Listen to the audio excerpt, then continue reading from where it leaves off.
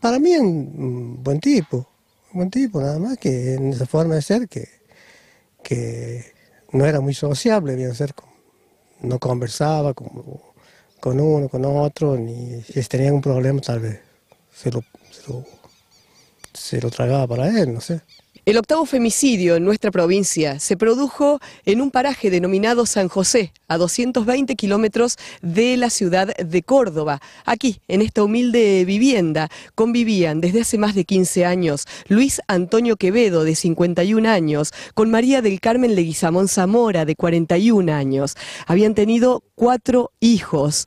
Ella, el sábado por la noche, resultó con más de 17 lesiones por arma blanca.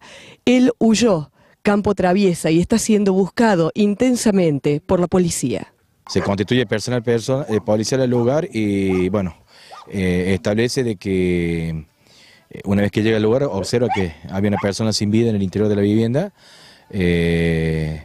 porque bueno, también inclusive inmediatamente lo primero que hicieron fue realizar una digamos, lo que es eh, un rastrillaje primario, porque el supuesto del victimario eh, había estado acá en, este sector que estamos observando, ¿no? Eh, habiéndose salido, digamos, por esa vivienda contigua hacia la zona del campo. Los hijos de la pareja presenciaron la agresión y trataron en vano de defender a su madre una de ellas había, una de ellas eh, intervino, digamos, en tratar de interceder más que todo en la pelea, bueno, eh, habiendo sufrido una pequeña lesión, por lo tanto fue también trasladada para ser asistida, ¿no?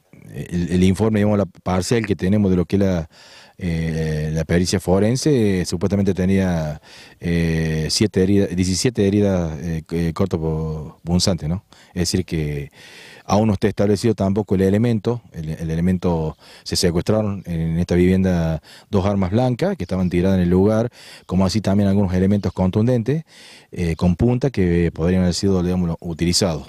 ¿Se tienen noticias de él que huyó del lugar?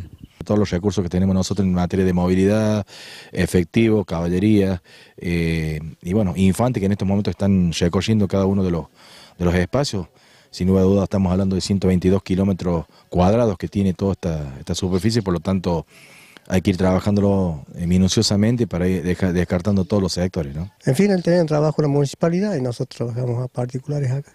¿Usted conocía de la realidad familiar? ¿Sabía si había inconvenientes este último tiempo? No, no.